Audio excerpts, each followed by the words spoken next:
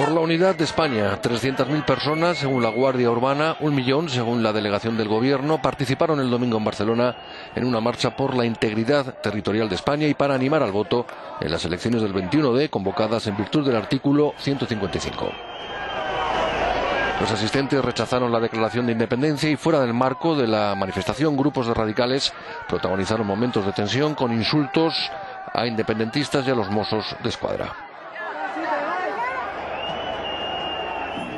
Esta multitudinaria marcha a favor de la unidad de España abre una semana intensa.